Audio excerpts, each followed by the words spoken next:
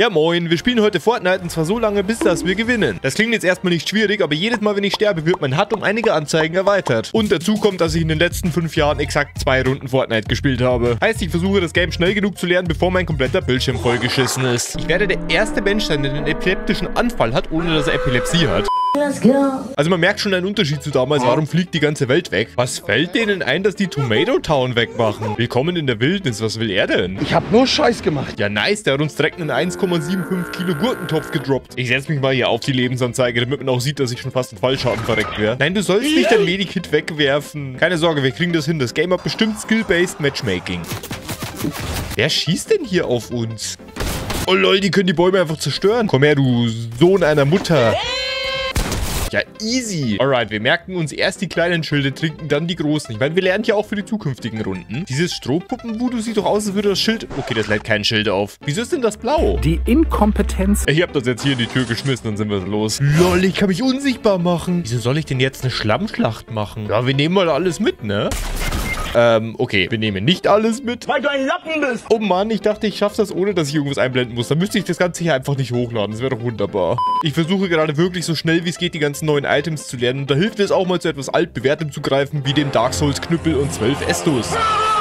Guck mal, da hinten ist auch Anor Londo. Ich bin mir immer noch nicht sicher, ob es Fallschaden gibt. Ich würde das gerne testen, aber so, dass ich im besten Fall nicht sterbe. Ich meine, besser, wenn wir es jetzt rausfinden, als später im Combat. Diese Tarnhandschuhe wirken so, als sollten die eigentlich selten sein. Ich glaube, das Spiel will mir sagen, ich soll einfach campen und hoffen, dass ich gewinne. Oder war einer. Ja, Leute, so gut ist mein Aim jetzt auch wieder nicht. Ah! Alright, der hat uns den Hobel gepupt. What? Aber das ist machbar. Ich merke schon, wie ich dazulerne. Legit, ich glaube, wir schaffen das. Ich glaube nicht. Oha, mit Solarfeldern. Sehr energiebewusstes Fortnite. Hier sind noch mehr Leute gelandet. Das ist mein Bauernhof. Ihr wisst ja nicht immer, was ein gescheiter Fenntraktor ist.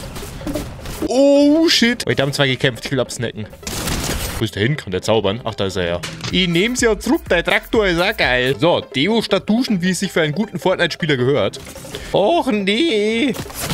Was soll denn die Frechheit jetzt? Das Spiel hat doch echt viele coole Skins. Warum benutzt ihr denn welche, die aussieht wie eine Oma mit Durchfall?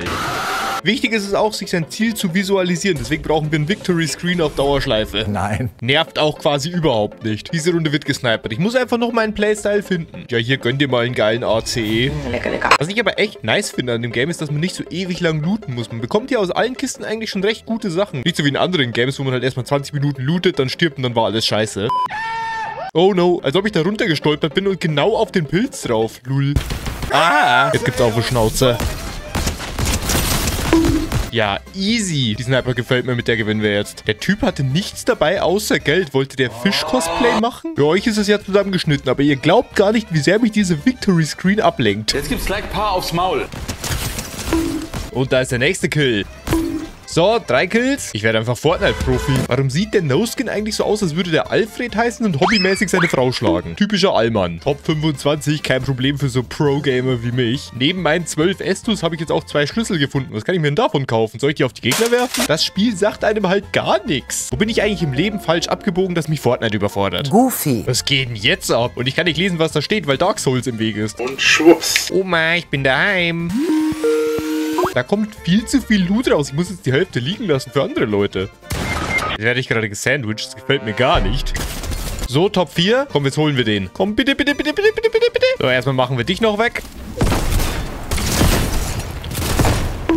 Katastrophe. Das ist jetzt belastend. Aber Top 4, meine Hoffnung steigt. Wer gibt denn hier eigentlich einen Zehner aus, um in der Lobby DJ Antoine aufzudrehen? So, der Tacho sagt, wir fahren in die fette City. Wieso sind hier Fische? It was at this moment that he knew he f***ed up. Oh shit, wer baut denn mitten in sein Haus so einen fetten Schacht? Epic Games, das gibt eine Anzeige. Markiplier sieht auch nicht so begeistert aus von der aktuellen Situation. Was macht denn der da oben für eine Gesichtskirmes? Einmal wieder der Hammer am Bauernhof. Es ist Zeit zum Maisdreschen. Warum schießt er so langsam? Warum treffe ich nix? Also die Trommelschrotflinten gefallen mir besser. Wir lernen immer weiter dazu. Nice car. Oh, mit 20 AP hau ich den weg. Wie in Skyrim. Erstmal mitten im Kampf stehen bleiben, um sich 20 Bananen reinzuscheppern. Da schießt einer auf uns, aber der weiß nicht, dass wir einen neuen Gurkentopf gefunden haben. Aber der hat's gerochen, der hat sich sofort verpisst. Komm her, mein Gurken legst du dich nicht an. Die sind Bio. Oh, bitte kann ich Traktor fahren. Joy Farmers, das ist bestimmt der John Deere, so ein Klump. Ich habe keine Ahnung von Traktoren, ich sag nur das, was ich von anderen Bauern gehört habe. Wieso hat denn Fortnite so einen großen Fokus auf Landwirtschaft? Scheiße doch. Scheiße. Das Fortnite Knedel mit Hindelmeier Senf Update. Definitiv. Definitiv nein. Was geht denn da ab? So, wir sind bei knackigen 9000 Umdrehungen. Das gibt's also auf die Schnauze. Leute, ich sehe euch nicht. Mein halber Bildschirm ist vollgeschissen. Aber war knapp. Markiplier sehe ich genauso. Die Lobbys sind ein großer TikTok-Feed. Oh, Corner-Hit? Ah, knapp. Hier ist einer. Komm her. Let's go. Too easy, dude. Welcome to Five Nights at mein Tacho zerreißt. Corner-Hit? Nee, kein Corner-Hit. Es wird mittlerweile wirklich etwas ablenkend. Hier kann man die Schlüssel benutzen. Ja, nice. Das ist jetzt natürlich auf einer Skala von 1 bis 10 absolut cremig. Oh ja, moin, wer bist du denn? Kann es sein, dass das Game niemand mit Kopfhörern spielt, weil ich höre immer alle, aber niemand hört mich? So. Controller aufsetzen. Yo, was ist das denn? Jetzt pack mal den ganz dicken Oschi aus.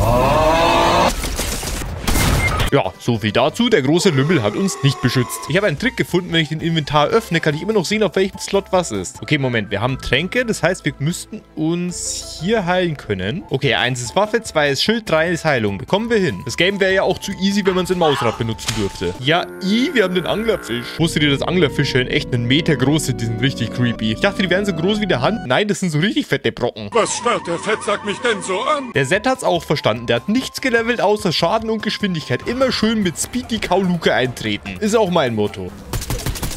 Was habe ich da getötet? Das war kein Gegner. Ich habe irgend so eine Anime-Quest erfüllt. Leute, es ist hier schon schwierig genug. Gebt mir doch keine Anime-Quests. Warum gibt es hier in den kleinen Flüssen überhaupt Anglerfische? Das weiß ja sogar ich, dass das biologisch ein kompletter Griff ins Klo ist. Und ich habe Bio abgewählt.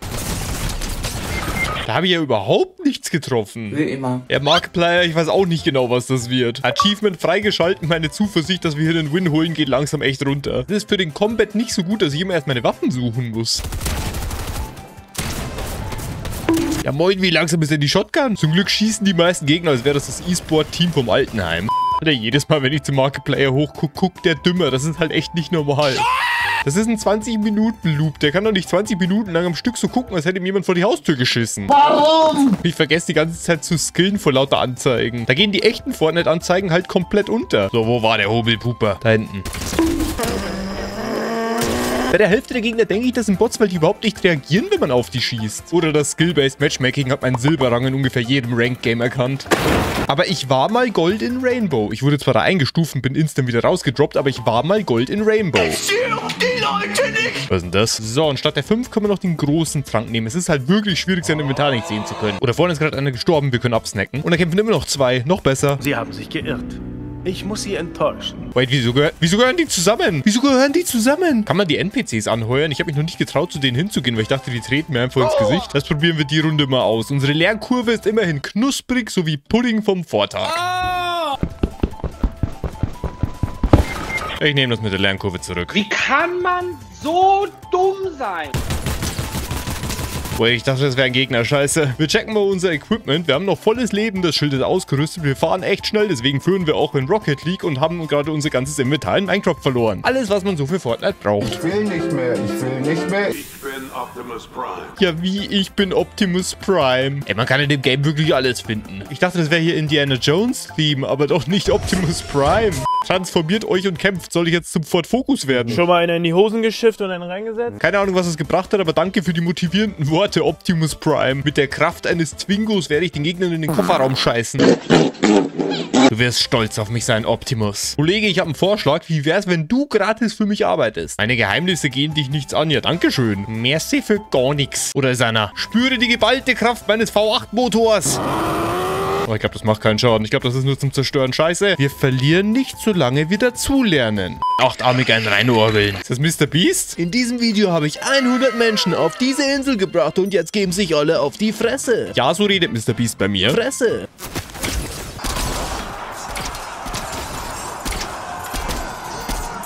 Wie die Leute mich immer alle anschießen und dann abhauen, weil sie überhaupt nichts treffen. Was hat sich da einer eingemischt? Das war mein Kill. Was macht der für Moves? Boy? Was? Wie? Wo? Ah, das wäre anders.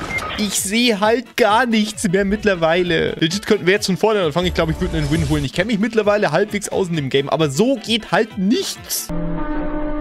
Zum Glück war mitten im Bild noch Platz. Der rechte Coin da oben ist ganz leicht tiefer als der linke. Und jetzt, wo ich es gesagt habe, wird euch das die ganze Zeit auffallen. Edgy Badge. Alright, vielleicht sollte ich mich mehr aufs Game konzentrieren. Auch wenn ich weiß, dass diese Sachen in dem Game nichts bedeuten. Wenn hier die ganze Zeit irgendwelche Ladebalken hochgehen und Countdowns runterzählen, denke ich die ganze Zeit, dass irgendwas in dem Game passiert. Wait, ist da gerade einer gestorben? Wait, da ist gerade einer an Fall damit verreckt. Gut zu wissen, dass ich nicht der einzige Vollidiot hier bin. Echt super. Wait, woran bist du jetzt gestorben? Hier ist noch irgendjemand. Alarm! Nicht nachladen! Ach Mensch, guck mal, den hier kann man rekrutieren. Hier ist die ganze Zeit dramatische Musik und mein Boy schießt auch auf irgendwas. Irgendwas passiert hier und das steht auch safe irgendwo auf meinem Screen, aber ich kann es halt nicht sehen. Ah, der Typ hier geht ab. Ich versuche hier zu gewinnen. Wäre gut, wenn mich nicht die NPCs umbringen. Was kannst du eigentlich? Ich gebe uns noch so drei, vier Runden. Wenn wir es bis dahin nicht geschafft haben, dann kann das nichts mehr werden. Wir haben gerade die Minimap verloren. Wir freuen uns. Was ist denn mit Markiplier los? Der ist geschrumpft. Es geht halt auch langsam echt auf die Framerate. Wo ist der? Mann! Einfach auf Mobile Gamer hoffen und das wird schon. Unser Fortschritt ging halt mal so und dann komplette Abfahrt. Ich habe auch gemerkt, dass es viel sinnvoller ist, anstatt die Häuser zu looten, die einfach komplett einzureißen. Komm her, du Lümmel. Bei euch alles easy, Kollegen? Na klar, du weißt Bescheid. Ich kann halt meine Skillbäume auch nicht mehr lesen. Top 10. Wenn es die Runde nicht wird, gibt's ein Kriegsverbrechen in Tilted Towers. Shit, ich habe den Highground aufgegeben, weil ich dachte, die Zone geht weiter. Komm, Harald, gib mir deine Kraft. Ja, mit Oh nee. Ich kotze im Strahl.